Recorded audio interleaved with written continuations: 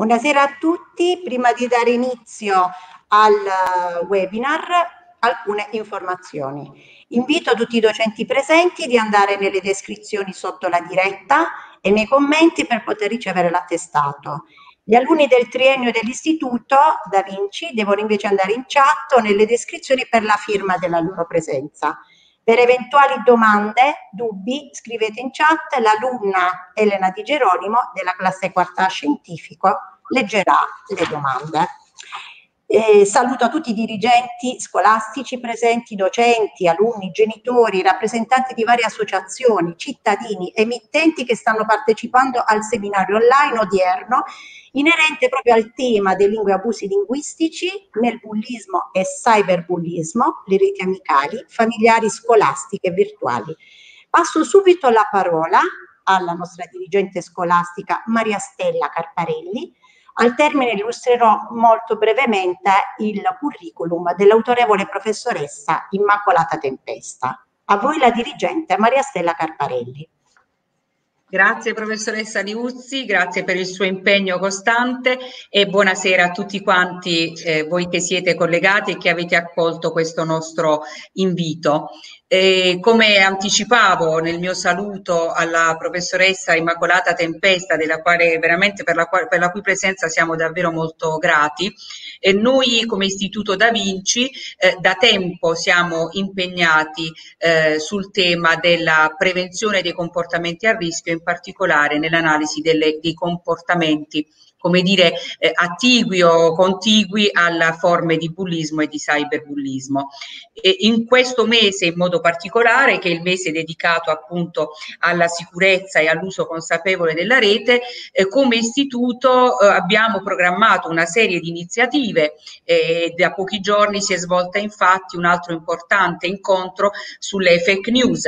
Eh, abbiamo lavorato addirittura eh, promosso un concorso interno che si concluderà a fine febbraio febbraio abbiamo deliberato come mh, organismi collegiali un documento programmatico proprio di correttezza elettronica di regole nell'uso dei dispositivi elettronici e oggi ci pregiamo della presenza della professoressa Immacolata Tempesta che affronterà forse uno dei temi più eh, interessanti, poiché eh, lingua e abusi linguistici del bullismo e del cyberbullismo. Ora eh, sappiamo tutti quanto eh, la parola e le parole abbiano un loro specifico peso. Ehm, e non c'è bisogno, come dire, di chiamare in causa eh, il grande poeta Montale eh, che diceva che le parole sono la creazione, sono creatrici dei mondi e, e tanto meno come stiamo facendo in questi giorni potremmo addirittura eh, chiamare in causa il sommo poeta Dante di cui a breve celebreremo i 700 anni dalla morte, ma tutti sappiamo un po' per studi e un po' perché lo viviamo sulla nostra eh, esperienza quotidiana, che le parole possono salvare o le parole possono determinare la morte eh, anche interiore, oltre che a volte abbiamo visto casi, episodi di, eh, ahimè, eh, risaliti alla pubblica informazione per la gravità delle conseguenze che hanno prodotto. C'è addirittura una, e qui mi rivolgo soprattutto ai ragazzi, una bellissima canzone della, di, un, di, un, cantautore italiano, Samuele Bersani, che parla appunto delle parole come ehm, sassi precisi, come eh, addirittura aguzzi e pronti anche a, a, ferire appunto a morte, così come invece le parole eh, possono in qualche modo essere eh, gocce precise preziose invece che restano indelebilmente impresse in senso positivo. Scusate il telefono di sottofondo, ho dimenticato di spegnerlo. Ora, quindi eh, ci aspettiamo molto da questo incontro, ci aspettiamo molto dalle belle parole che sicuramente la professoressa sarà spendere, saprà spendere per noi, e, ehm, con la consapevolezza appunto che ehm, la comunicazione giusta, la comunicazione corretta è per gli umani una fonte di benessere indicibile. Quindi vi ringrazio ancora per la presenza, eh, mi accingo come voi a seguire i lavori di questo webinar. Grazie a tutti. Bene, allora vi presento eh, un curriculum, la professoressa ha un curriculum vastissimo, cioè era proprio un, un libro potevo, ho stampato, però eh, è una sintesi, sintesi il più possibile quella che si è potuta fare. È un professore ordinario di sociolinguistica dell'italiano e di lingua italiana dal 2001 presso l'Università del Salento Lecce. Dal 2012 al 2020 è stata componente del Senato accademico, della Commissione per il diritto allo studio e della Commissione per i fuoricorso. È delegata di Unisalento per Geo, Giovane Educazione e Orientamento nel 2012 è risultata fra i commissari sorteggiabili per l'ANS e nel 2019 è stata nominata commissario per l'ANS. L'ASN. Ha fatto parte di commissioni per procedure comparative di prima fascia, seconda fascia per i ricercatori. Dal 2014 partecipa ai corsi di INCE della lingua italiana. È stata invitata a tenere relazione in numerosi convegni e seminari, ha tenuto lezioni in diverse università straniere, è autrice di 200 pubblicazioni, fra cui 12 monografie in sede editoriale di eccellenza, in sede nazionale ed internazionale.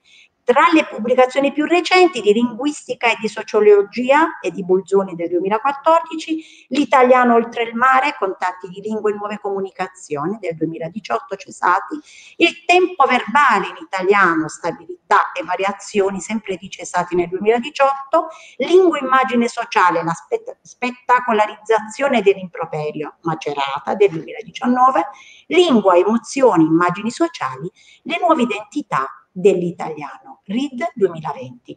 Passo la parola all'egregia professoressa Immacolata Tempesta. Va bene, grazie. Mi sentite prima di tutto? Sì, professoressa, bene, grazie.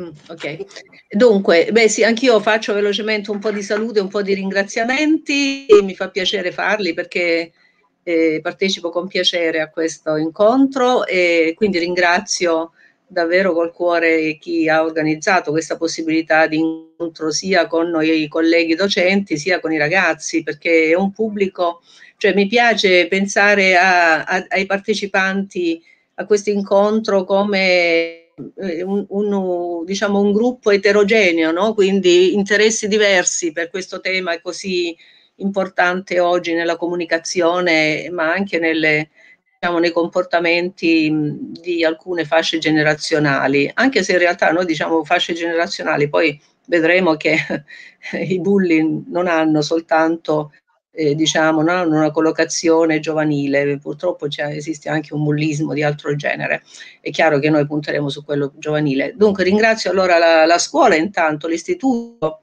che sta portando avanti tutte queste iniziative. La mh, dirigente prima faceva cenno appunto all'altro incontro che, che c'è stato sulle fake news, che credo sia stato molto interessante, perché anche quello è un aspetto della comunicazione contemporanea che altera in qualche modo i valori proprio della comunicazione stessa e poi una serie di iniziative altre che l'istituto sta portando avanti. Quindi davvero ringrazio tutti, ehm, tutto l'istituto Leonardo da Vinci di, di, Fasano perché, ripeto, secondo me sono delle iniziative molto meritorie. Naturalmente ringrazio in particolare la dirigente, eh, la professoressa Carparelli e poi ringrazio in particolare la, se mi posso permettere, l'epiteto affettivo, la Mimma Liuzzi, visto che si firma in questo modo.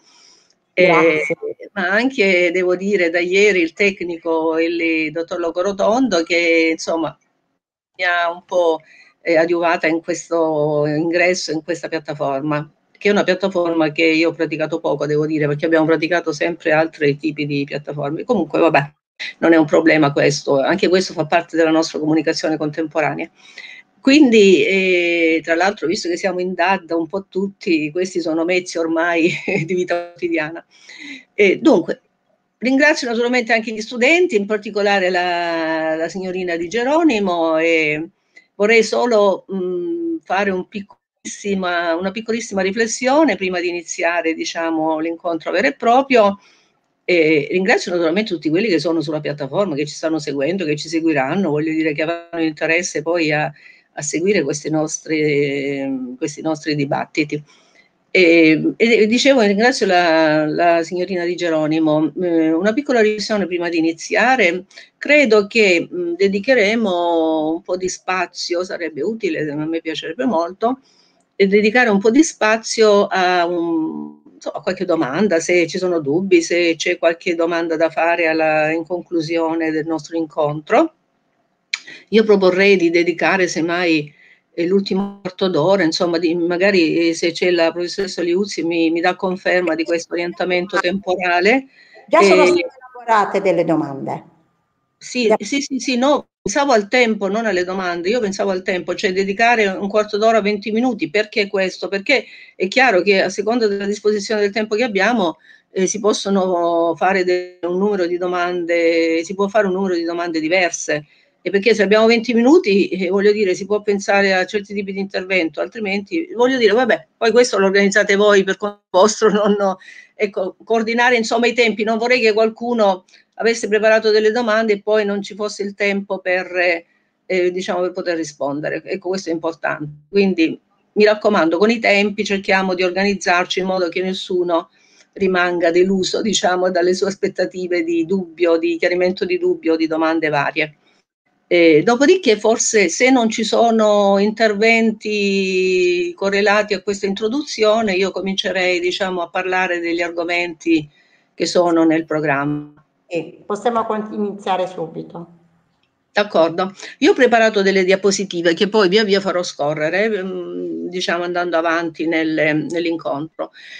E in realtà le diapositive eh, sono più di quelle che vedrete e se poi qualcuno è interessato vi metterete in contatto con la referente e farete mandare perché non c'è il tempo oggi di fare diciamo, un'esposizione molto approfondita dell'argomento, quindi facciamo diciamo, l'esposizione eh, che può essere fatta nei tempi previsti e dopodiché se qualcuno vuole avere tutte le diapositive oltre a quelle che manderemo nell'incontro può fare richiesta diciamo alla scuola.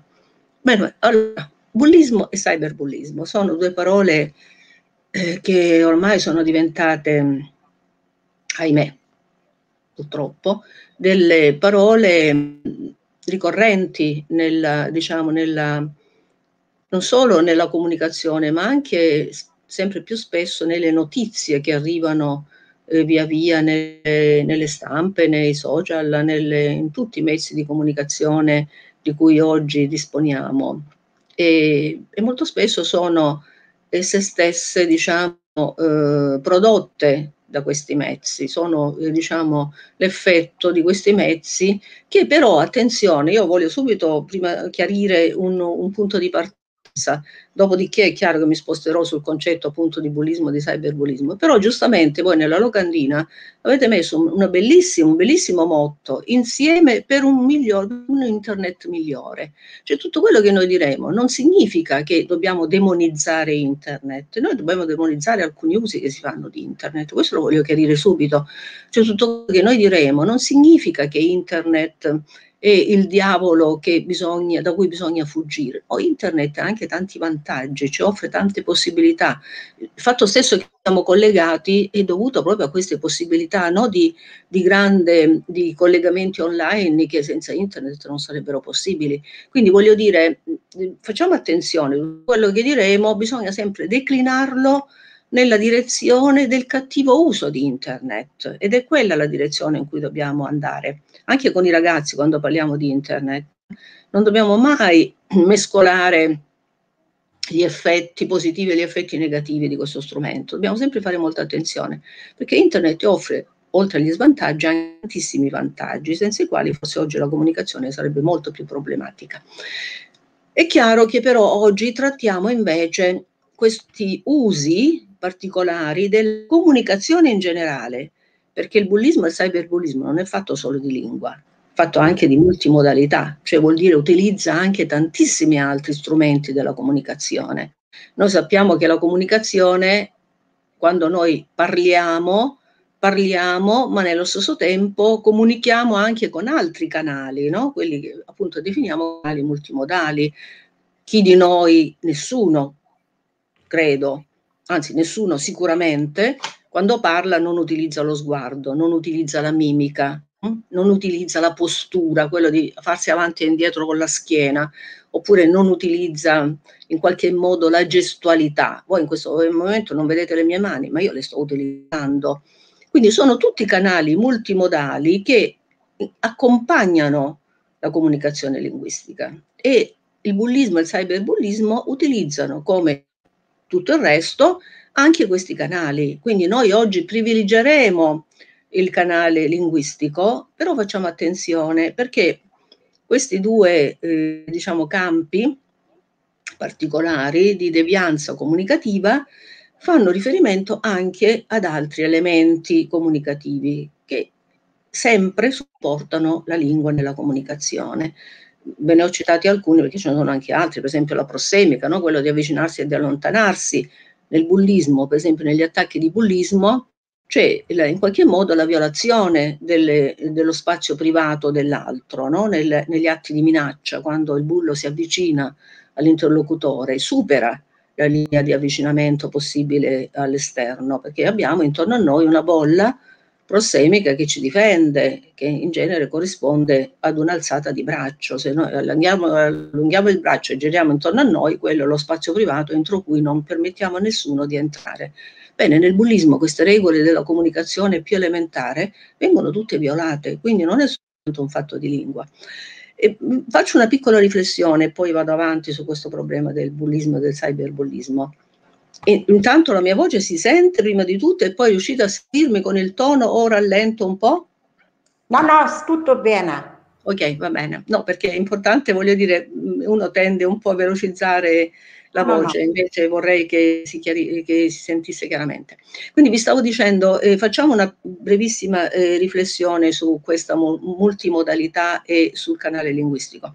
A me piacerebbe anche questo, no? un po' come ho fatto la premessa prima di internet, che non è tutto negativo, cioè su internet bisogna ragionarci su, bisogna riflettere, non si può dire internet è sempre diabolico, è sempre problematico, non è così. Come pure quando noi parliamo, anche in questo caso, del bullismo e del cyberbullismo, dobbiamo fare attenzione perché si è diffusa l'idea, credo, molto negativa, che basta parlare del bullismo, basta parlare del cyberbullismo e abbiamo svolto la nostra azione pedagogica.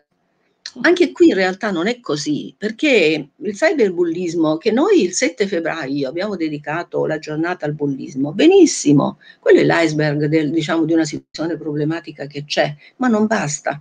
Quindi noi dovremmo lavorare sul bullismo andando alle origini del bullismo, andando alle origini del cyberbullismo, spiegando ai ragazzi direttamente come si arriva ai comportamenti deleteri del bullismo.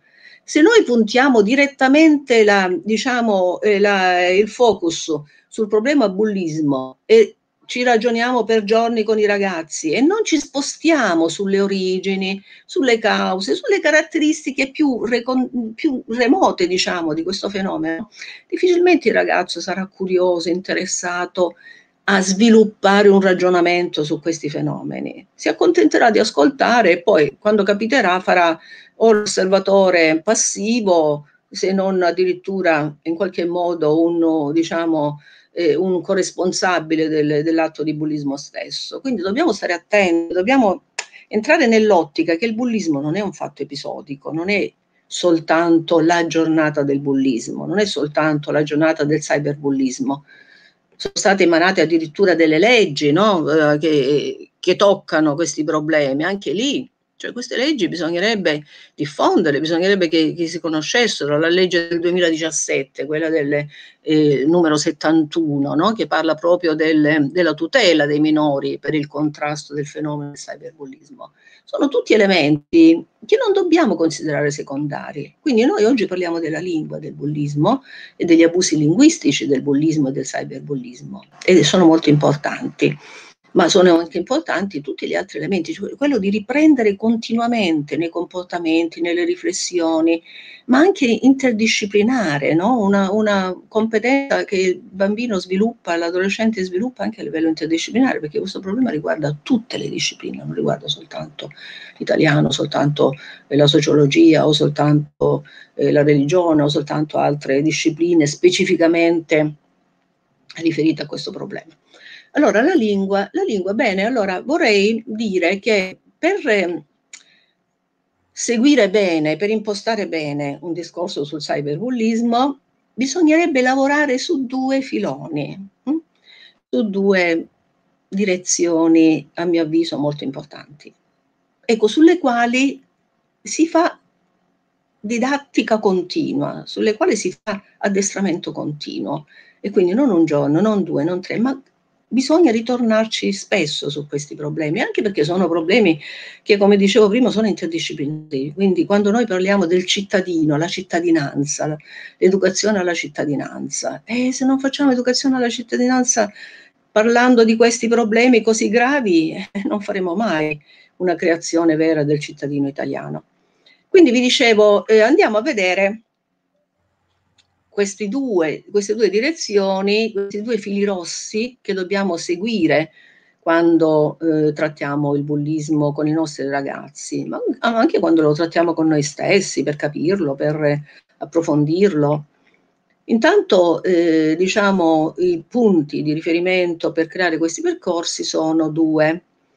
Eh, uno è il linguaggio giovanile, quindi sapere che c'è, esiste, è codificato? Un sistema linguistico che si chiama linguaggio giovanile e che è tipico proprio della comunicazione dei giovani.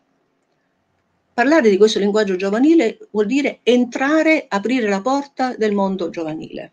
Quindi parlare in classe con competenza di che cosa sia linguaggio giovanile vuol dire aprire la finestra ai ragazzi, dire ci sono, so che voi comunicate in questo modo, so che utilizzate queste strategie linguistiche e dopodiché il primo passo verso invece l'alterazione di questi usi giovanili di tipo eh, diciamo bullo è quasi fatta, è quasi fatto.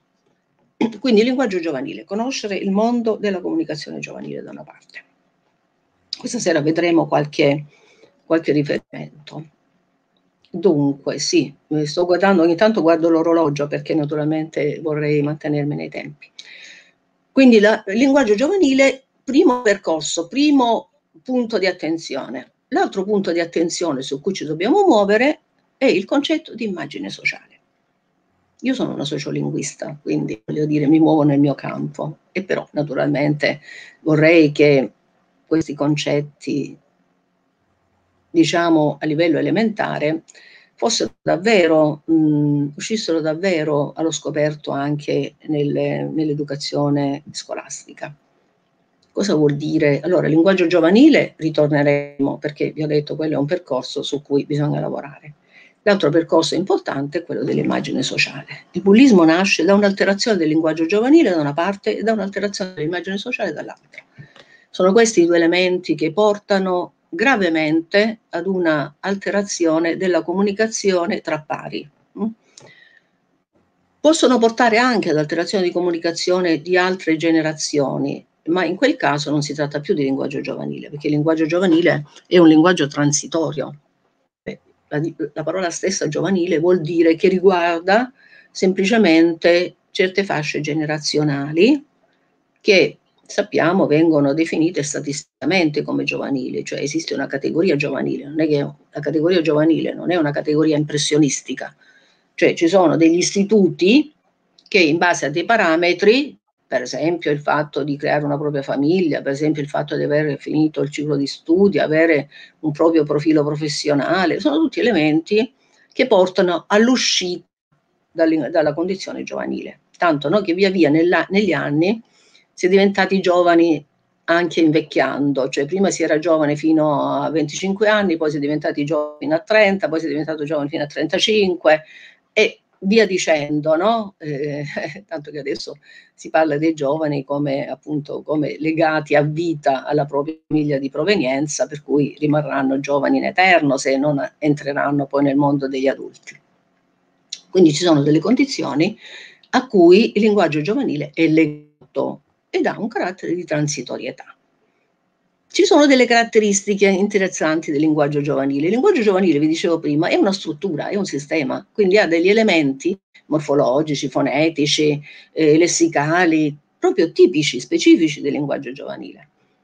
Cioè non è un, un mezz'ora di lezione e abbiamo concluso tutto il discorso sul linguaggio giovanile. Ecco perché la scuola, secondo me, dovrebbe eh, attrezzarsi, dovrebbe incuriosirsi, no? interessarsi anche di questi elementi, che sono la base di alcuni fenomeni. Il linguaggio giovanile di per sé è una varietà assolutamente positiva, perché fa parte di quegli elementi di crescita dei, degli adolescenti no?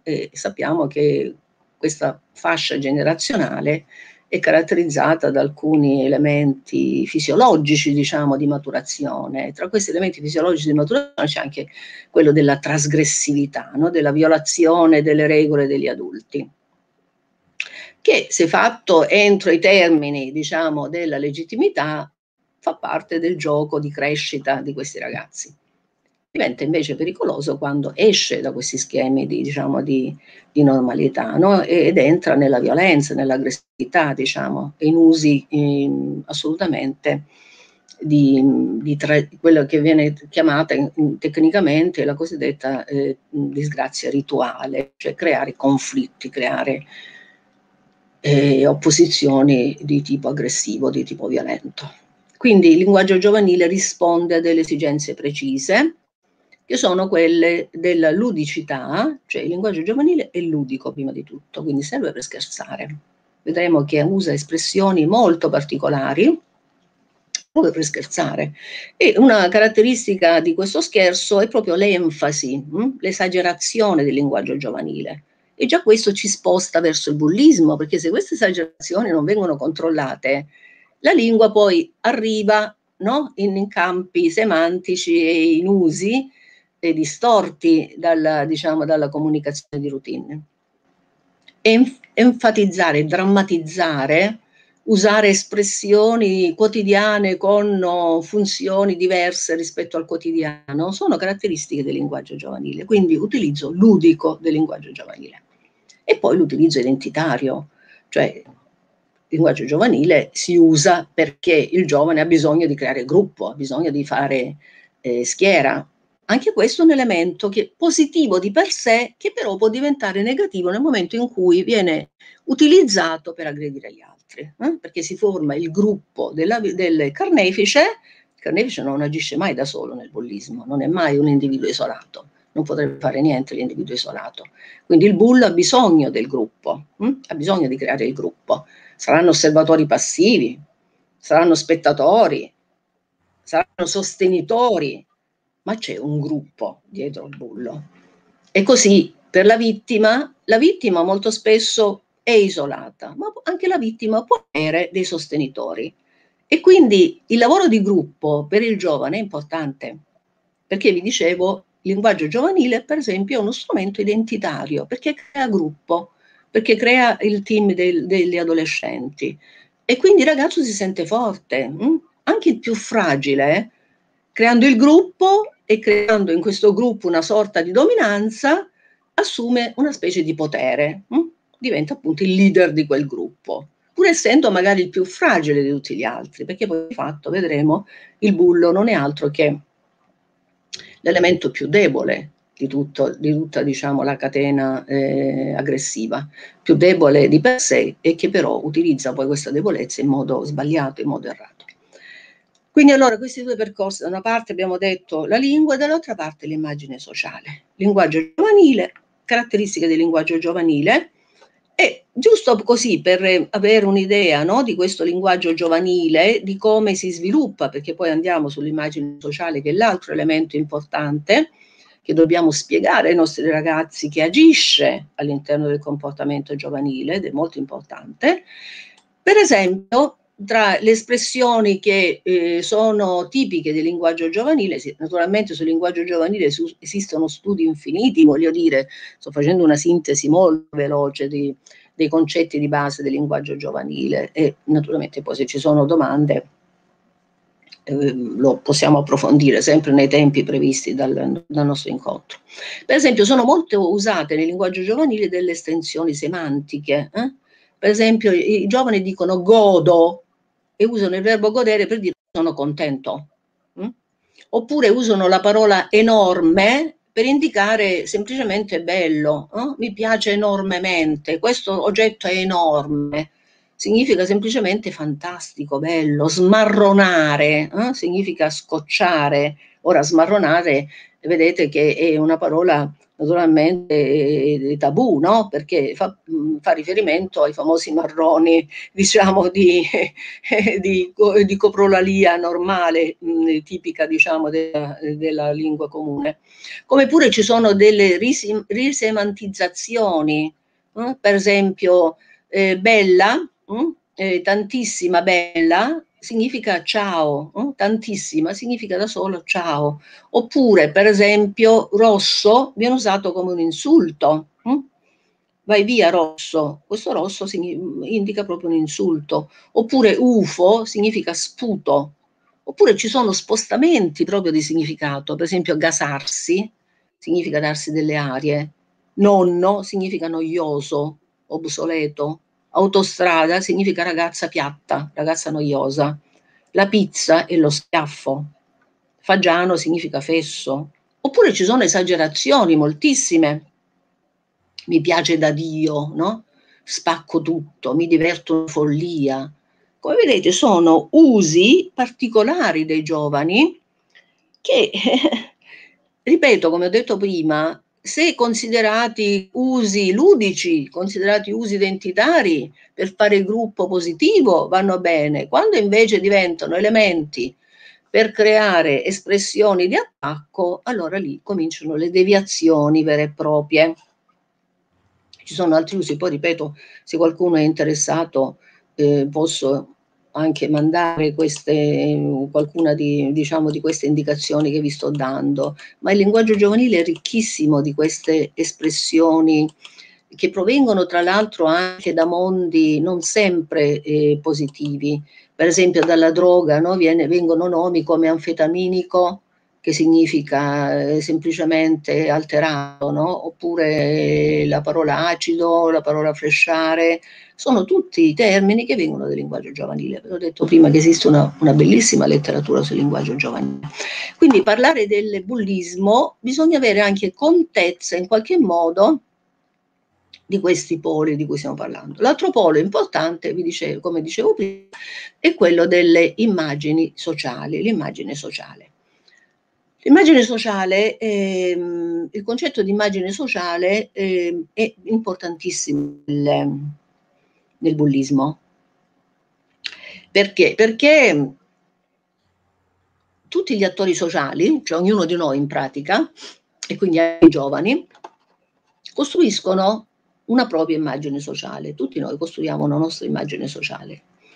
E questa immagine sociale che noi costruiamo nel corso del tempo, già da quando siamo piccoli, è un'immagine che poi viene approvata dall'esterno, cioè approvata dalla comunità esterna e via via conservata nelle comunicazioni che facciamo. Cioè non è necessario che questa immagine sociale ogni volta debba essere confermata. Nel momento in cui noi comunichiamo, l'immagine sociale che abbiamo costruito e che la comunità ha accettato risulta implicitamente confermata. Hm? Quindi la violazione dell'immagine sociale è una, un attacco, una minaccia gravissima all'interno della comunicazione, perché invece la regola di base, la regola fisiologica, che chiamiamo così, della comunicazione è che l'immagine sociale che abbiamo costruito, ogni volta che noi comunichiamo, è data per approvata. E quindi se io sono una docente eh, accademica, universitaria, lo status di docente universitario non è necessario che io lo ripeta ogni volta, perché mi è riconosciuto implicitamente, non è necessario che ogni volta io ripercorra tutto il curriculum, tutto quello che ho fatto. Bene, questo gioco, questo riconoscimento dell'immagine sociale, si chiama tecnicamente gioco di faccia. Il gioco di faccia è una strategia comunicativa, non è un gioco. Si chiama gioco, ma in realtà è una vera e propria strategia comunicativa. Ed è una strategia internazionale che permette la sopravvivenza comunicativa. Senza il gioco di faccia, senza il rispetto delle regole del gioco di faccia, avremmo difficoltà a comunicare. Cosa vuol dire il gioco di faccia? La faccia intendendo per faccia l'immagine sociale di cui parlavo prima. il giovane ha costruito una sua immagine sociale. Mm? Perché dicevo prima che tutti gli attori sociali hanno un'immagine sociale. Noi siamo esseri sociali, individui sociali, quindi abbiamo degli elementi che offriamo agli altri e che gli altri approvano. E in questo modo è possibile la relazione sociale. Stiamo parlando, attenzione, di immagine sociale, perché qui non stiamo parlando di filosofia, no? in cui noi and- vogliamo andare a scovare qual è l'io, l'essenza dell'io della persona. Non stiamo parlando di questo, stiamo parlando di dell'immagine sociale che noi costruiamo e che gli altri approvano e che ci permette di relazionarci in modo continuativo, in modo lineare con gli altri. Che cosa succede nel bullismo? Ora, il gioco di faccia, vi dicevo, eh, dicevo prima, è una strategia interazionale basata su regole precise. Ogni volta che noi comunichiamo, la regola essenziale di partenza che dobbiamo rispettare è che dobbiamo proteggere la nostra immagine sociale, ma dobbiamo difendere anche quella degli altri. Mm? Questa è l'immagine sociale. Allora, tornando ai nostri giovani, tornando ai nostri adolescenti, che cosa possiamo dire a proposito del bullismo e di questa immagine sociale che è importantissima per il bullismo e per il cyberbullismo?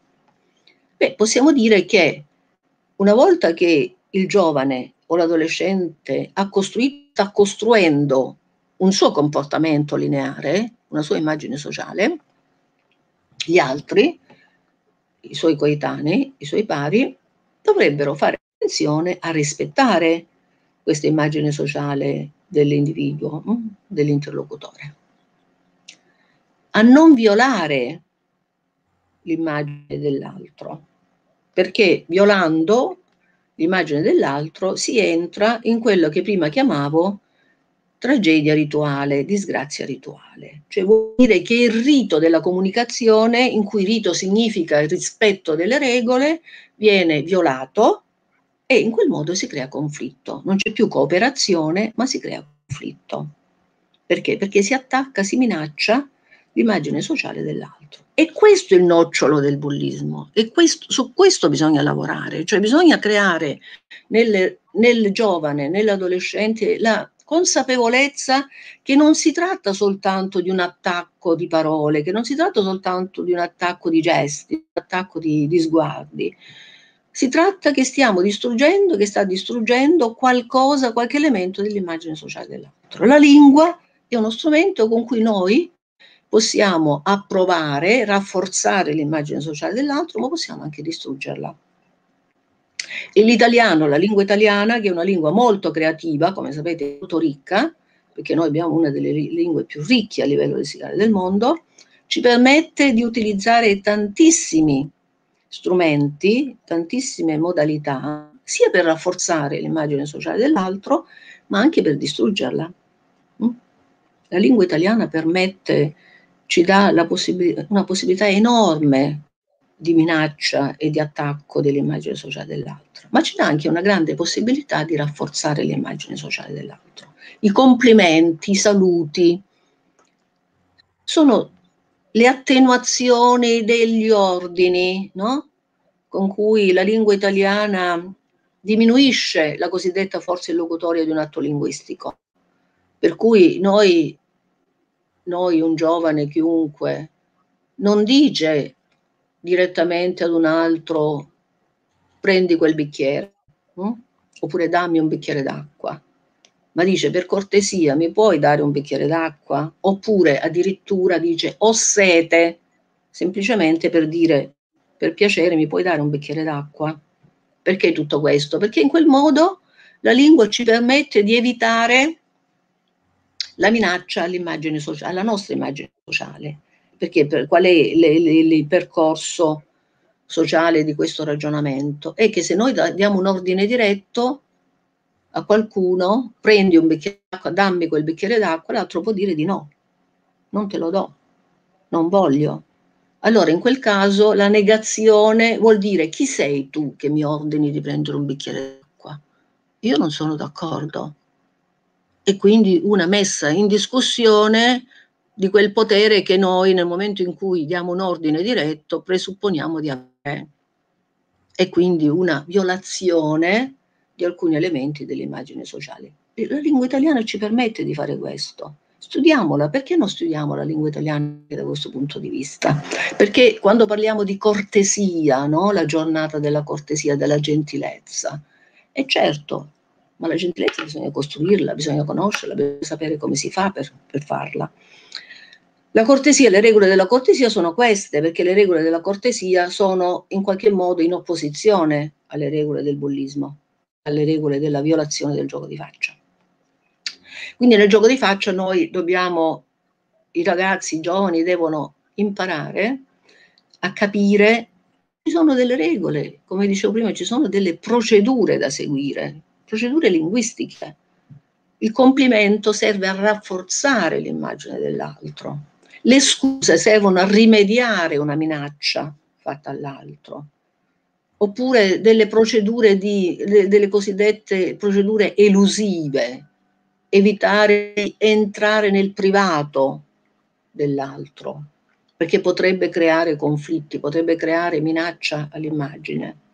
Sono tutte eh, strategie, sono tutte procedure linguistiche che permettono di mantenere, di conservare il gioco di faccia, di non entrare nella violazione, di non entrare nella trasgressione.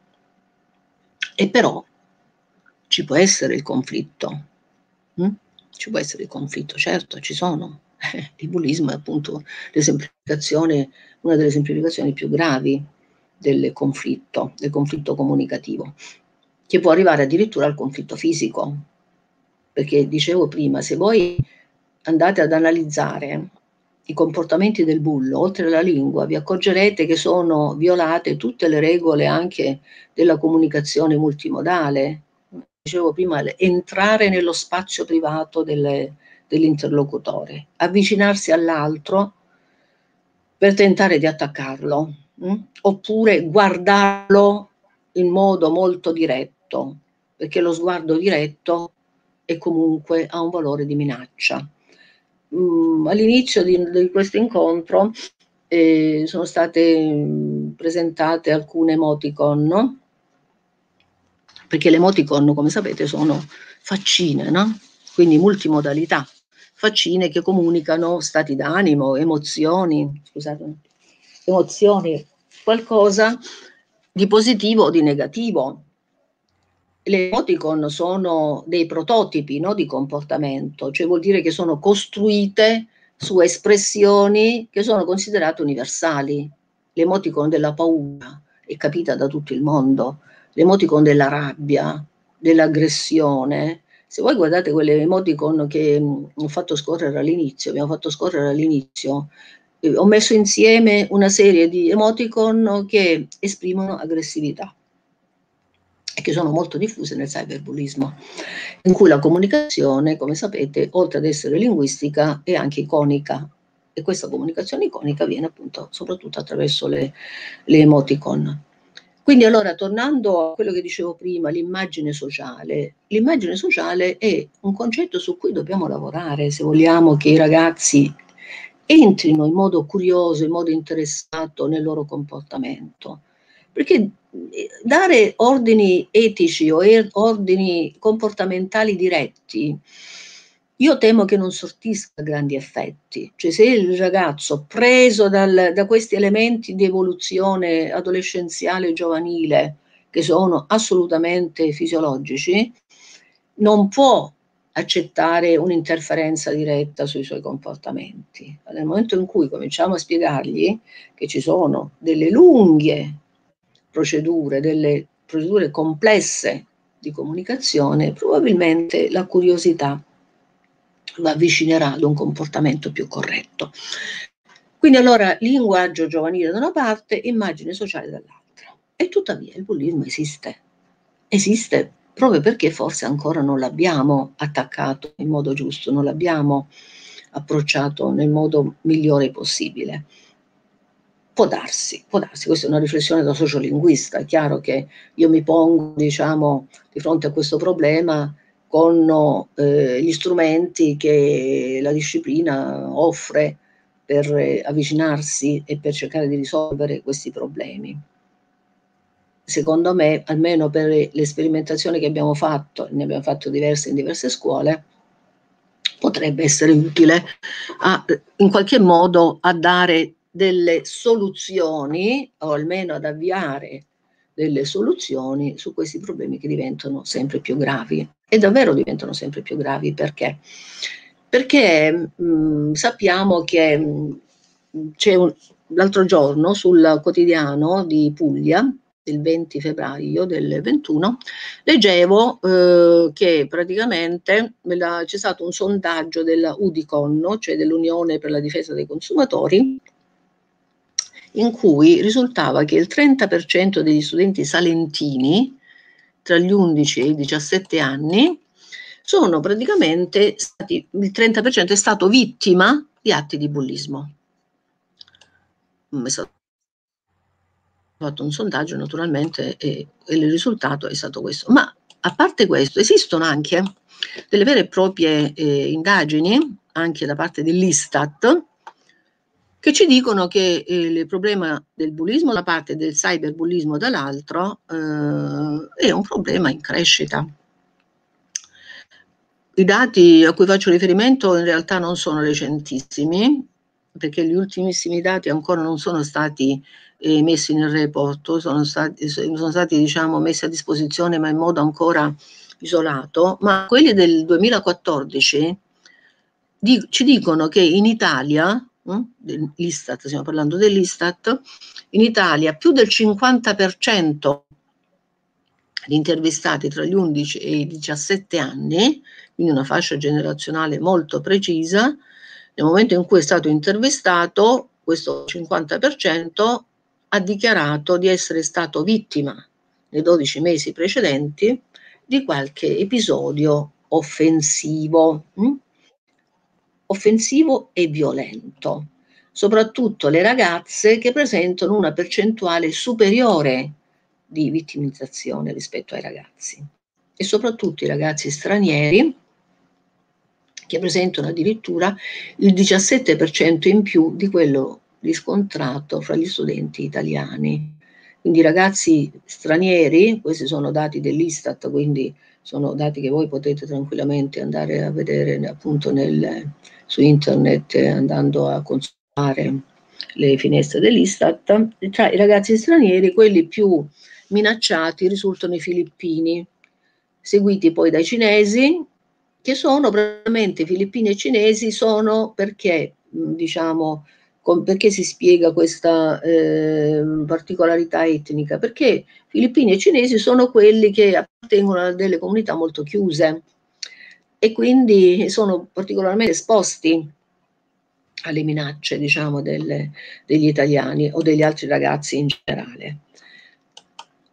Ritornando alla lingua dei bulli, quindi alla, agli abusi, ai cosiddetti abusi linguistici, intanto parliamo, diciamo, de, dello strumento linguistico riferito appunto all'utilizzo di, di espressioni che in qualche modo entrano nel, nell'attacco, nella minaccia dell'altro, evitando tutti i sistemi di elusione, perché dicevo prima che per evitare il conflitto è necessario utilizzare alcune strategie, mh? Mm?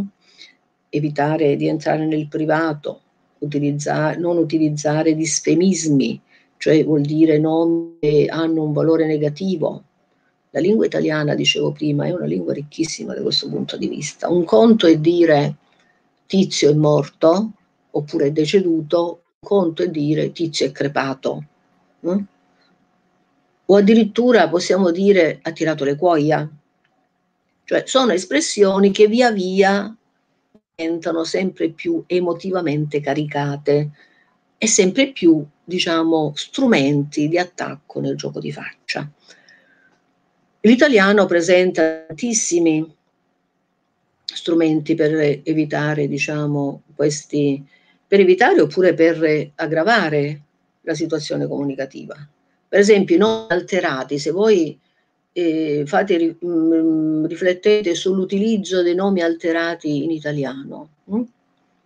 beh, l'alterazione, come sapete, che è una derivazione con i suffissi accio, azzo, perché è molto utilizzato anche questo suffisso, con il suffisso one, sono tutti nomi derivati che alterano il valore semantico di un aggettivo o di un sostantivo.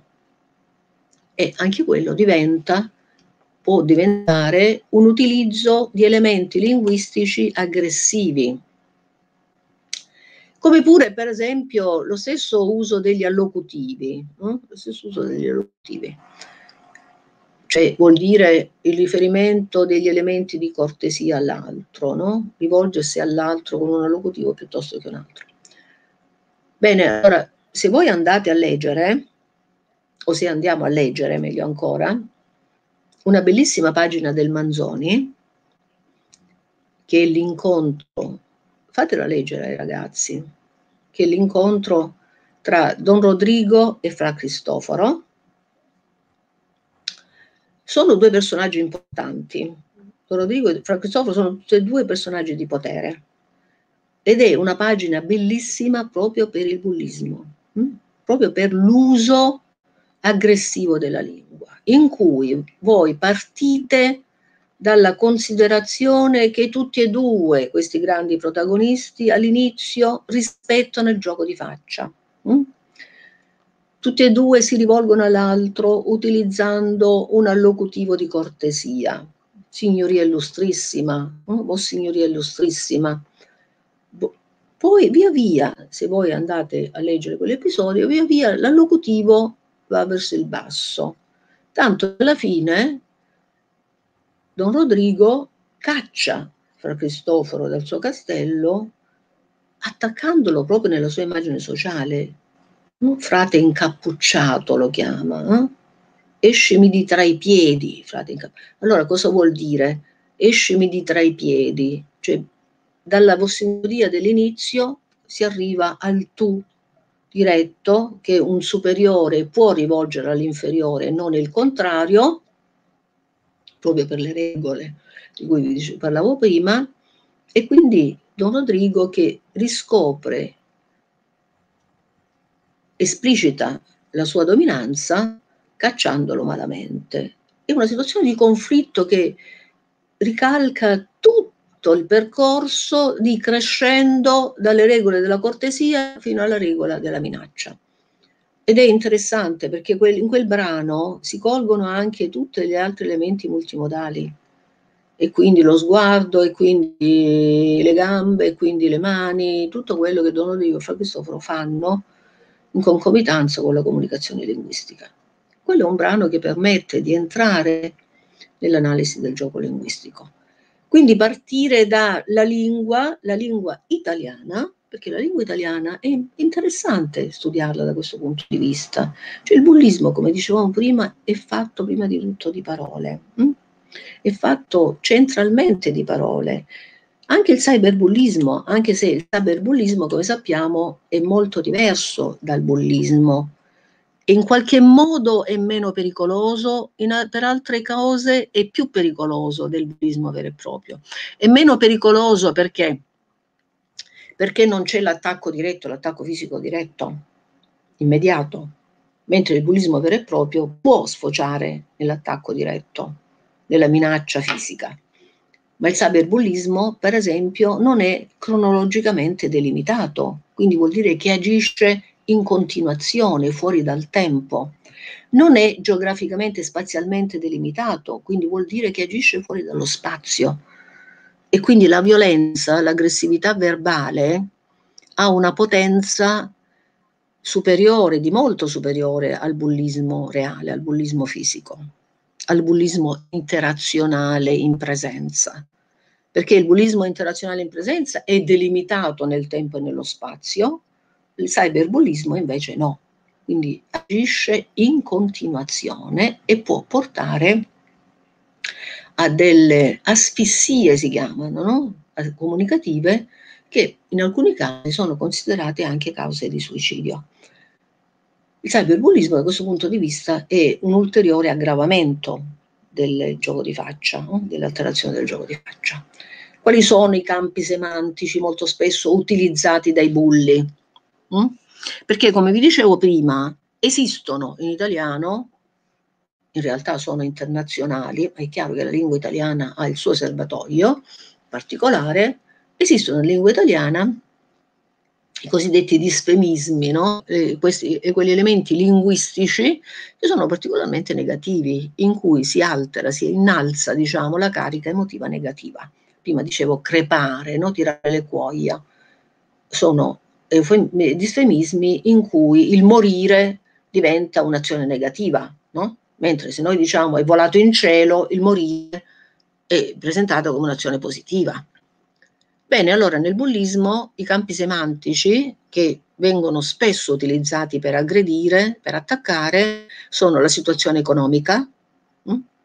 sei povera, non indossi abiti alla moda, non indossi abiti firmati, oppure la situazione familiare, i tuoi genitori sono drogati, sei stato adottato, tuo padre è uno spazzino, oppure l'orientamento. Questo eh, c'è la diapositiva, non so se la state mostrando. No, non ancora. Sì, vi dicevo quindi la situazione familiare, l'orientamento sessuale, hm? l'identità di genere, di sessualità, per esempio gay, lesbica, è froge, è checca, è una femminuccia, una schiaccio oppure lei se la fa con tutti, è verginello, eh? sono espressioni che attaccano l'immagine sociale dell'altro, attaccano, attaccano gravemente l'immagine sociale dell'altro, la distruggono. Tutti questi campi semantici entrano nell'immagine sociale dell'altro e fanno fuoco sull'immagine sociale dell'altro. L'aspetto fisico, no? Ciccione, anoressico, brufoloso, giraffa, nana, Oppure la religione, musulmano, ebreo, cristiano. Oppure la razza. Prima abbiamo detto no, che particolarmente i ragazzi immigrati, i bambini immigrati, sono oggetto di bullismo. Nero, immigrato, straniero. Oppure il carattere, no? La, le emozioni di un ragazzo, secchione, mongolo, oppure l'intelligenza, stupido, scemo, cretino, imbecille, idiota. Sono, come vedete, e come vedete una serie di disfemismi con cui in qualche modo un giovane, un adolescente, un bambino entra nel gioco di faccia e distrugge in qualche modo quello che l'altro sta costruendo faticosamente su se stesso. Questi comportamenti in qualche modo devianti, anche su questo c'è la diapositiva se volete mostrarla, questi comportamenti devianti si trovano, come vi dicevo prima, anche sul cyberbullismo.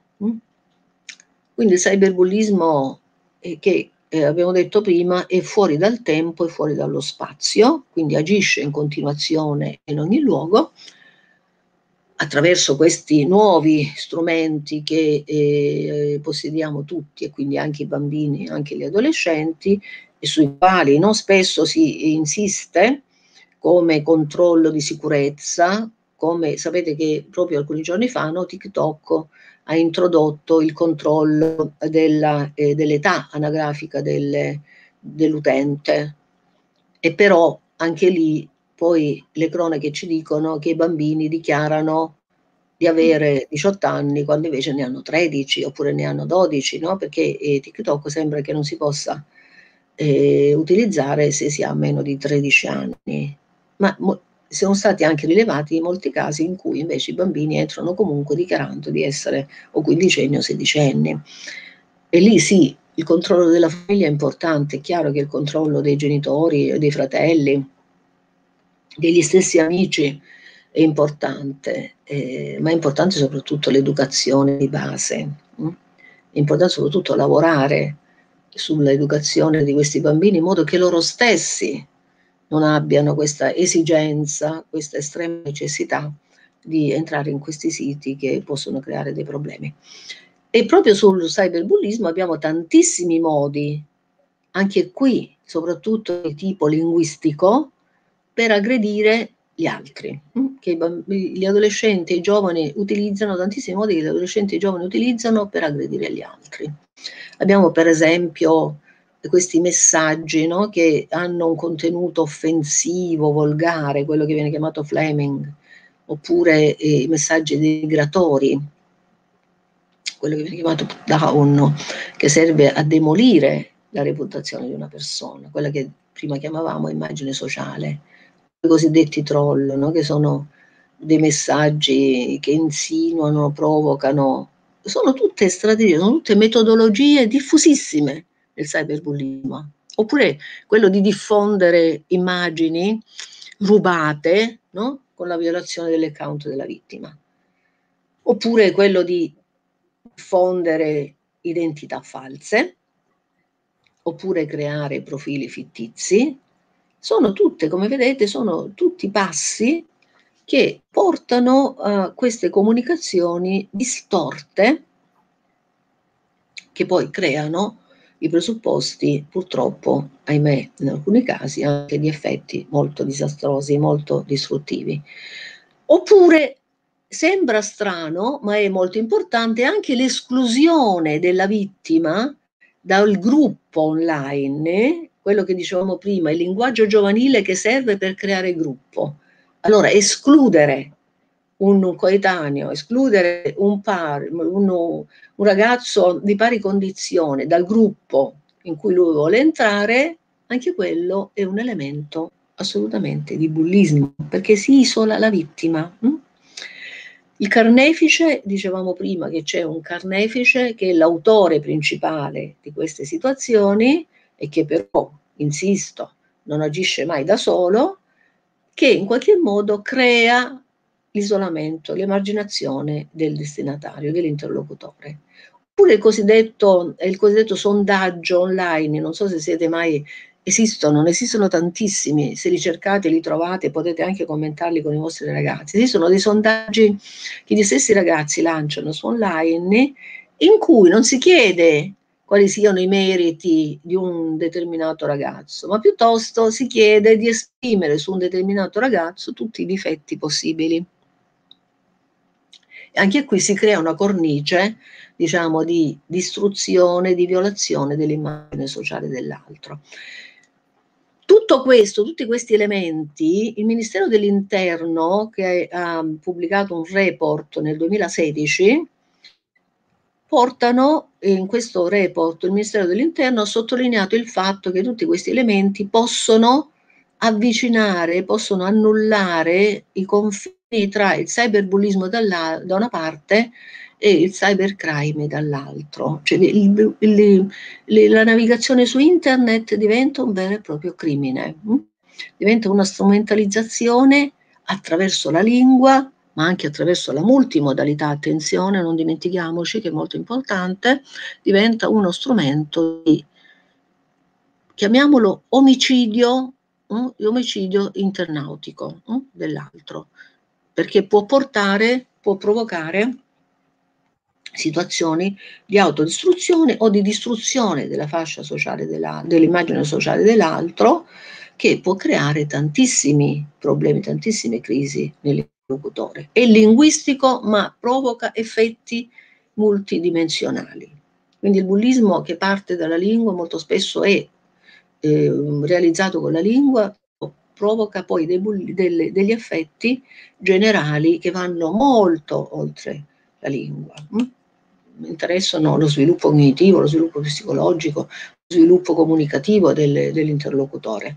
In tutto questo naturalmente eh, facciamo nel titolo, avete trovato, abbiamo inserito il riferimento all'RT perché per trattare del bullismo, per trattare della lingua del bullismo, per trattare di quanto siano pesanti gli elementi comunicativi che vengono utilizzati nel bullismo, perché prima di essere minaccia fisica il bullismo è minaccia verbale ed è minaccia verbale per tutto quello che abbiamo detto prima, cioè perché mette in gioco le distorsioni del linguaggio giovanile, mette in, in gioco le distorsioni del gioco di faccia e sommando questi elementi di deviazione porta quasi meccanicamente ad una distruzione dell'interlocutore con atti che possono arrivare o allo scontro fisico diretto, ma anche all'autodistruzione dell'altro, hm?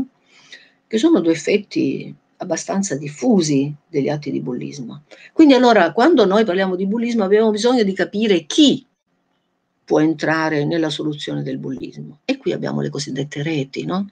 Le cosiddette reti.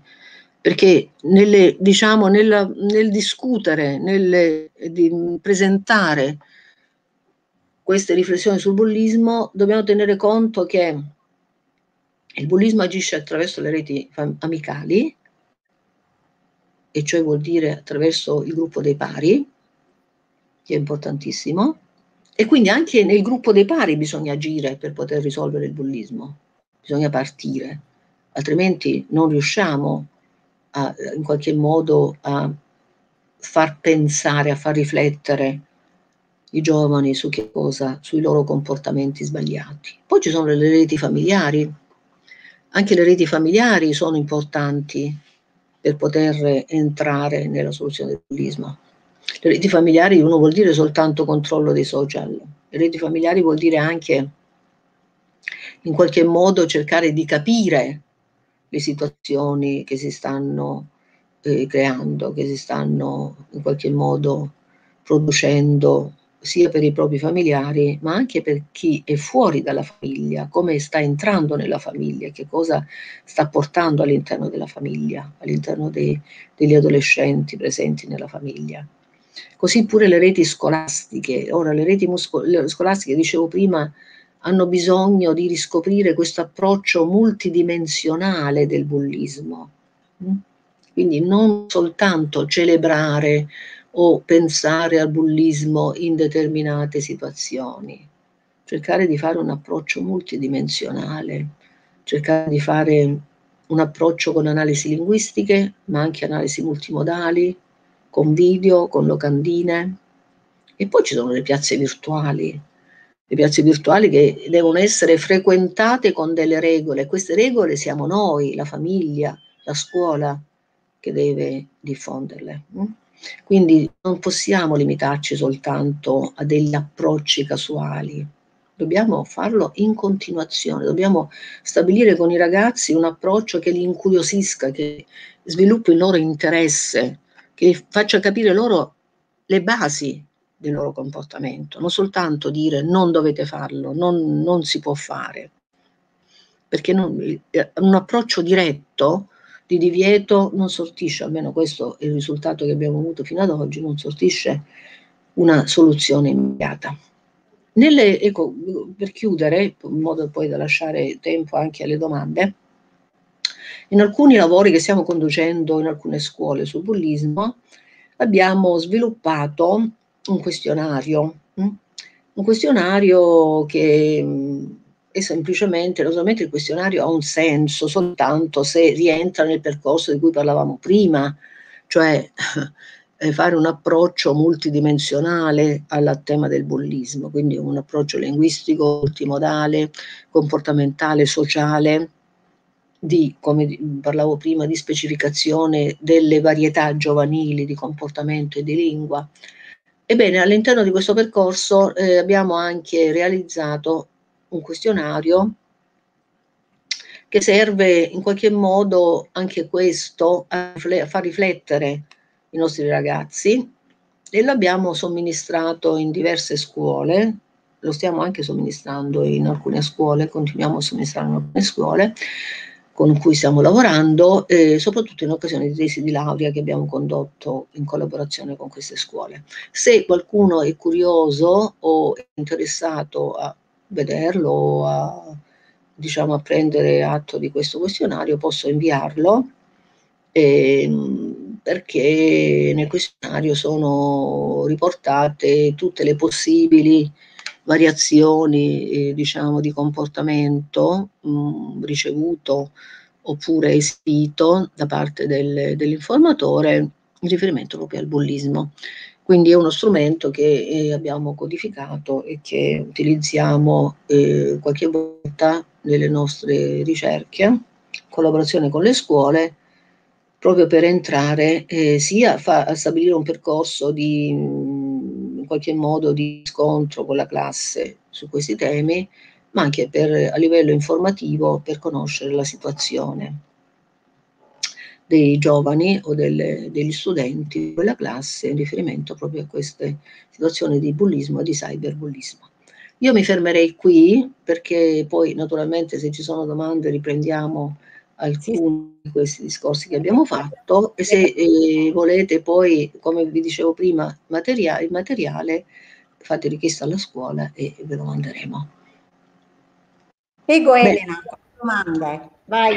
Va bene, grazie professoressa. Chiunque desideri rivolgere una domanda alla professoressa può inserirla alla destra tra i commenti in modo che venga letta qui in diretta. Bene, allora eh. parto con la prima domanda. Ci sono differenze tra il linguaggio dei bulli e dei cyberbulli? Se sì, quali? Sì, sì, forse eh, diciamo la risposta era già nella, nell'incontro che abbiamo fatto. Sì, eh, sono, le, stiamo parlando di linguaggio. Hm? e quindi il quadro generale è sempre quello del linguaggio giovanile, non dimentichiamolo. Eh, perché parliamo in questo nostro incontro del bullismo giovanile. Eh, questo non significa che non esiste il bullismo degli adulti, ma eh, si svolge in un quadro, diciamo, in un contesto eh, socioculturale leggermente diverso. E tuttavia anche il bullismo degli adulti risponde ad elementi di deviazione che provengono sempre dalla lingua da una parte e dalla, dall'immagine sociale dall'altra. E se mettiamo in confronto il cyberbullismo e la, il bullismo eh, diciamo in presenza, sì, ci sono delle differenze legate al canale, no? legate allo strumento diciamo di, di aggressione. È chiaro che nel bullismo in presenza come vi dicevo prima, la possibilità di arrivare ad una minaccia fisica rende eh, l'attacco più immediato, rende l'attacco, diciamo, eh, anche emotivamente più carico, mentre il cyberbullismo lavora molto prima eh, nelle procedure di attacco del cyberbullismo, no? vi ho detto che ci sono delle procedure di allusione, no? il carattere allusivo molto spesso predomina perché eh, non c'è bisogno di fare una, nel cyberbullismo le espressioni non sono cariche emotivamente quanto quelle del bullismo in presenza. Molto spesso lavorano sul logorio più lento, sul logorio linguistico più, diciamo, più diluito e, e soprattutto più ripetuto, perché eh, mentre il bullismo finisce in un episodio, e poi magari si ripete in un, un episodio successivo nel, nel, tempo. Invece il cyberbullismo ha una continuazione, cioè non ha un'interruzione, può essere ripetuto all'infinito e in qualsiasi spazio, nella cameretta, nel, nel campo da tennis, per strada. Quindi tu, tutto questo incide sull'uso della lingua, perché rende il, la lingua del cyberbullismo più insinuante rispetto a quella del bullismo diretto.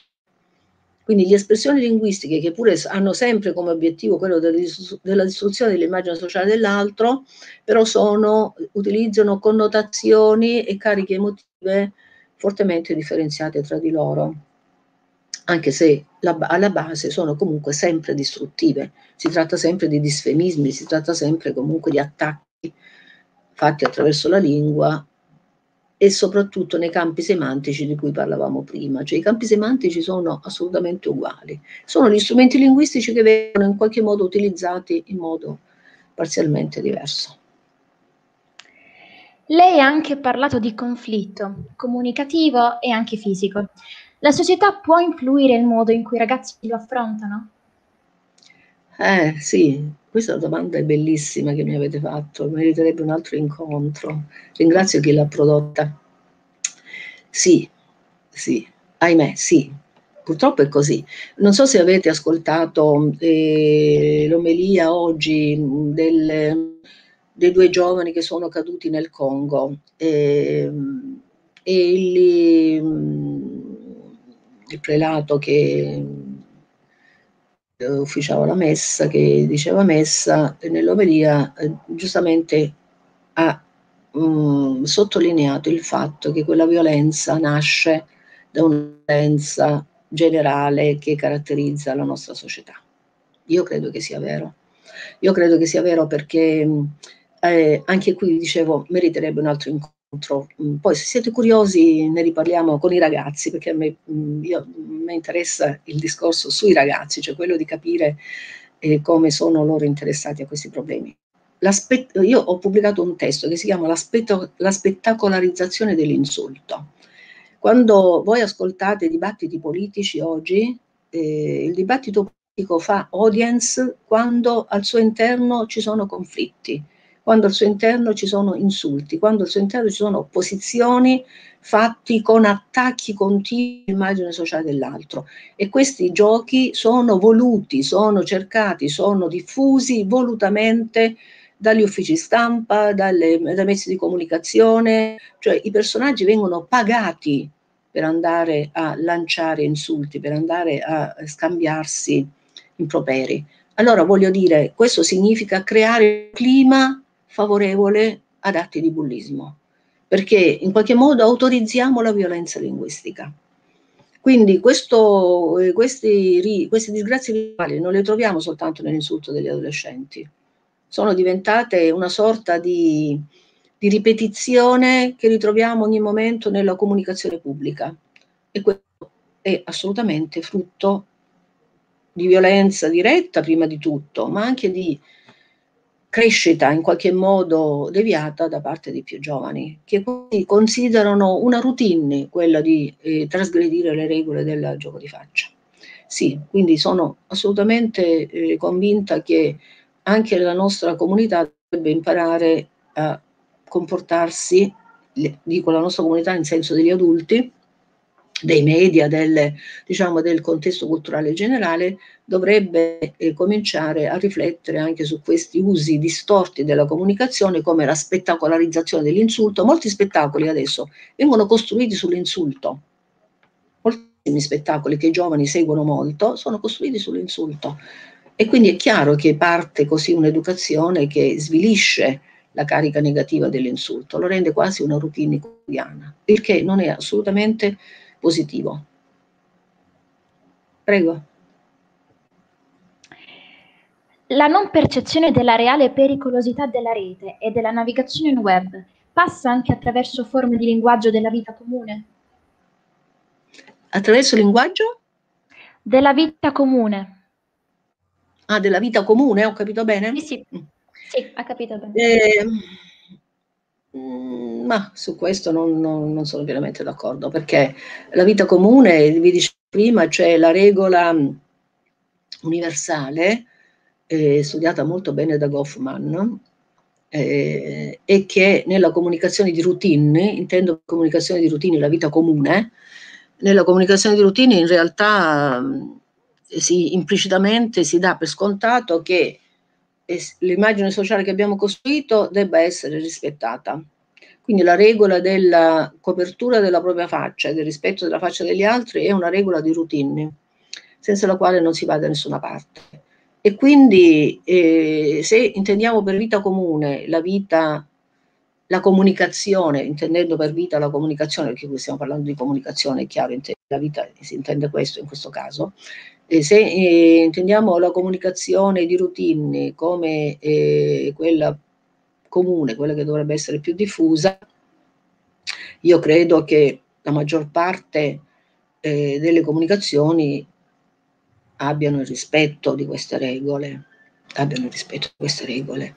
E quello che dicevo prima, la spettacolarizzazione dell'insulto, sono delle alterazioni della comunicazione perché? Perché il mercato eh, l'audience chiede quel tipo di, di spettacolo e può influire sul comportamento degli altri, ma questo non significa che tutti ci comportiamo in quel modo, assolutamente no, assolutamente no, non sono d'accordo. Quindi nella vita comune io credo che prevalga assolutamente il gioco di faccia corretto, cioè che tutti noi siamo attenti quando comunichiamo, quando interagiamo, quando stabiliamo delle relazioni con gli altri, a eh, rispettare eh, diciamo, le immagini dell'altro e a proteggere anche la nostra. Credo che tutti, ciò, tutti noi lo facciamo. Forse è il caso che, eh, come dicevo e come ho ripetuto tante volte, si cominci a puntare il dito su queste strategie che probabilmente sfuggono ai più giovani e invece sono magistralmente e negativamente eh, guidate dal, dai grandi media che, come dicevo prima, siccome al pubblico piace sentire litigare, piace sentire l'insulto, piace sentire alcuni personaggi che in trasmissione creano conflitti fasulli che invece il telespettatore considera veri, e così però si diffonde la, la, l'educazione alla violenza, ma non credo che tutti siamo fatti in quel modo, nella vita comune no, no, non credo che sia la vita comune che mh, alteri questo. È la nostra cultura che ha preso un po' questa direzione di alterazione, ma se ci ripensiamo tutti, soprattutto i giovani, riusciremo a cambiarla, riusciremo a tornare eh, al rispetto, diciamo, reciproco. Prego. Questa domanda è posta dal professor Ghitano. Il linguaggio che i giovani usano nella vita reale rappresenta la colpa del degrado sociale ed educativo, oppure tale forma di linguaggio è la conseguenza di un uso superficiale dei media, della televisione e dei telefonini in particolare? Bah, insomma, tutte e due le cose, però attenzione, eh, ehm, prima dicevo internet non è il diavolo, bisogna recuperarlo per le cose positive. Ehm, il linguaggio giovanile non è negativo di per sé, il linguaggio giovanile è un linguaggio alterato, eh, è un linguaggio trasgressivo, è un linguaggio che viola eh, molto spesso la, le regole, diciamo, della buona comunicazione, ma molto mh, sempre e nella maggior parte dei casi si mantiene nei limiti dell'accettazione, della, diciamo, della non aggressività. E invece diventa eh, negativo quando supera questi limiti e diventa strumento di attacco verso l'altro. Quando conserva il suo carattere ludico, il suo carattere identitario, assolutamente il linguaggio giovanile serve per crescere. Nel momento in cui però diventa strumento, eccetera, eccetera, certo è chiaro che i social, i media, soprattutto i social e i media, meno credo il comportamento comune, credo meno il comportamento comune, eh, attraversano i momenti di, di convinzione mediatica negativa, cioè quello di educare il pubblico a considerare normali comportamenti che invece non sono normali per il rispetto dell'altro, allora in quel caso eh, il linguaggio giovanile diventa uno strumento di aggressione, uno strumento di, eh, di bullismo, ma anche qui, ripeto, non credo che il comportamento generale sia questo, credo che però ci siano delle deviazioni dovute al mercato. Ecco, io ecco, cioè una convinzione che ho come sociolinguista è che molto spesso non abbiamo le forze, ecco perché dicevo la scuola è molto importante in questa direzione, perché re, deve rendere consapevole lo, il giovane di quello che sta facendo. Non basta dirgli non lo fa deve dargli conto, deve mh, mm, spiegargli che cosa sta succedendo, perché altrimenti eh, diventa, si diventa, diciamo, burattini in mano ad un mercato televisivo, eh, dei social che mh, mm, diffonde questo modello di, di, bullo perché piace tanto. Oh? tanto al pubblico, piace tanto al telespettatore. Credo che questo sia un rischio grosso, ma eh, tra il telespettatore e l'uomo comune non c'è una sovrapposizione automatica, non tutti gli uomini comuni sono telespettatori passivi e telespettatori ricettivi di questi messaggi di violenza, per fortuna, ma questi messaggi di violenza arrivano in continuazione e lì dovremmo cominciare a porre rimedio diciamo, a questa cultura della violenza lanciata dai media. Oggi si parla di linguaggio d'odio, che sempre più si manifesta in rete. Si dice che i protagonisti soffrono di mancanza di inclusione. Le donne, come lei ha accennato, sono tra le più colpite dal fenomeno della vittimizzazione e compaiono prime nel maropetro d'odio ricevendo maggiori messaggi offensivi rispetto agli uomini.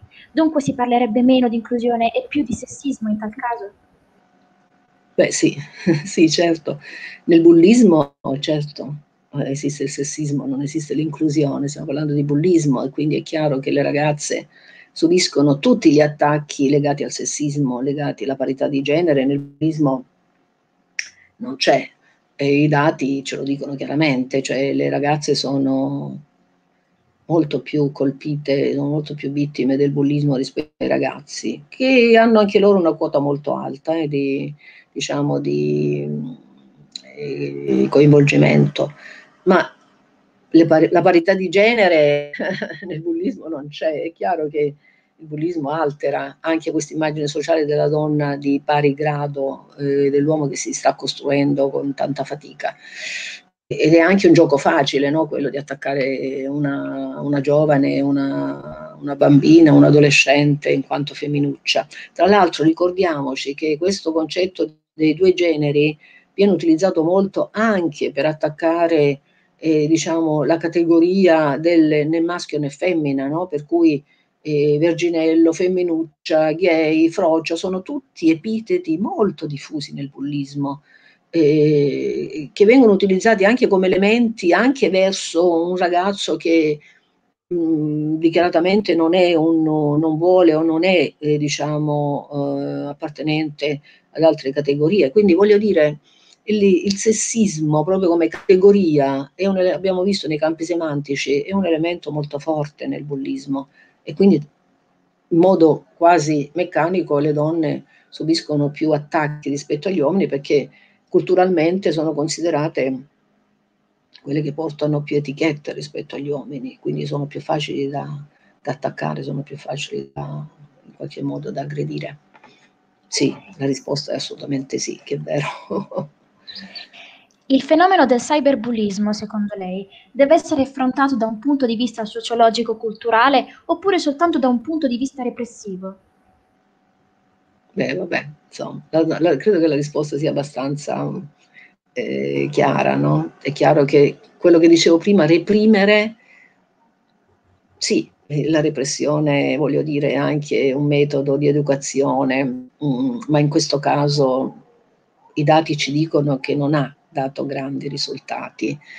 Eh, in realtà nell'educazione la pedagogia ci insegna che la repressione diretta non, non dà mai grandi risultati e, e, che i problemi non sono così facili da risolvere. Cioè, chi fa psicologia, chi, va, chi fa psicolinguistica sa bene che qualsiasi problema eh, di tipo psicolinguistico non va mai affrontato con la repressione diretta, perché questo provoca soltanto aggravamento.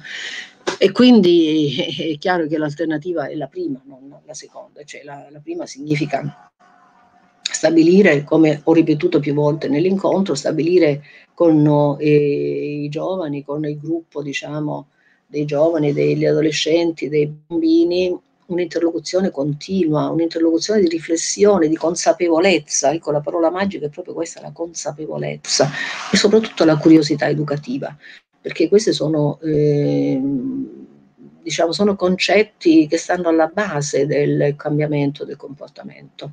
Dare degli ordini diretti, dare delle indicazioni di cambiamento immediato mm, molto spesso sortisce l'effetto contrario, cioè l'aggravamento o mm, il rafforzamento di un comportamento deviante. Perché il comportamento deviante viene considerato come il comportamento di dominanza, di potere rispetto all'altro.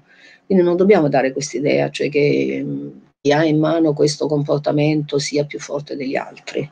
E invece se noi facciamo la repressione abbiamo questa convinzione che abbiamo bisogno di uccidere qualcuno perché altrimenti è troppo forte. Questa convinzione non la dobbiamo dare a nessuno, la repressione agisce su questo concetto. Tu sei forte e io ti faccio fuori. No, lui non è forte, noi dobbiamo convincere che l'altro non è forte e per convincere che non è forte dobbiamo dare la consapevolezza di tutto quello che sta facendo, di tutto quello che sta accadendo. Non dobbiamo reprimere. La repressione diretta non, non serve, non, purtroppo esi, c'erano i lager, ma nei lager abbiamo visto che cosa ha sortito, quindi le repressioni dirette non hanno pedagogicamente e sociologicamente non producono effetti positivi. D'accordo, grazie. Professoressa Tempesta, grazie. Noi staremo chissà quanto con lei a parlare di questi argomenti interessantissimi eh, che logicamente soprattutto noi docenti, ragazzi presenti, eh, genitori, eh, servono, servono tantissimo, tanto, tanto.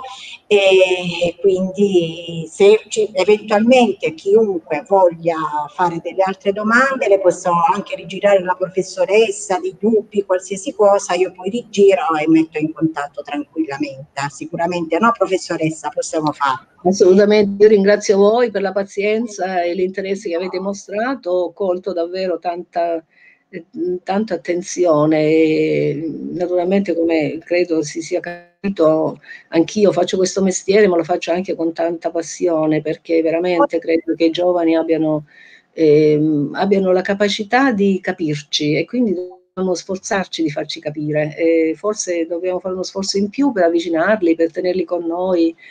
Perché come dicevo prima fare le leggi serve, è importantissimo ma poi serviamo noi soprattutto direttamente, quindi la scuola in prima persona.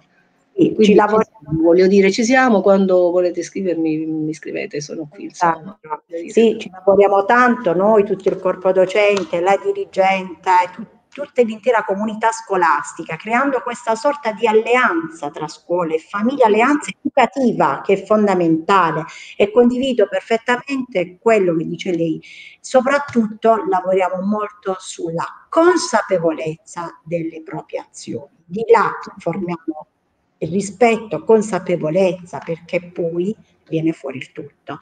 Quindi la ringrazio immensamente per la sua brillante per questa relazione molto brillante che ha tenuto con noi e ringrazio tutti i dirigenti che magari ci hanno seguito, i docenti, i genitori, alunni, rappresentanti di associazioni stampa, Canale 7, un emittente per la loro presenza, ringrazio Elena, la nostra cara alunna della classe quarta del liceo e dietro le quinte chi ha lavorato tanto anche il professor Loco Rotondo eh, il professor Dino Convertini e il tecnico di laboratorio Ronzo Mizzi hanno curato tutta la parte informatica, nonché la collega Pia Angelini per quanto riguarda tutta la parte delle firme per i nostri ragazzi e altro. E attendiamo adesso, adesso l'altro step nostro, come anticipato la preside, è il concorso. Il concorso in ma poi le farò sapere, le faremo vedere anche, gli, magari la invitiamo proprio alla premiazione. Che comunque... Va bene, grazie. Bene, eh. mi farà piacere. Grazie anche, ringrazio anch'io la studentessa, è stata bravissima, chiarissima. Grazie, grazie a lei. Grazie io spero, che, io spero di aver interessato soprattutto i giovani perché veramente ci tengo che loro comincino a riflettere su questi comportamenti. Ci aspettiamo tanto da loro, quindi ci crediamo, voglio dire. Va bene, buonasera a tutti. Grazie, buona serata. Grazie anche a voi, grazie. Grazie.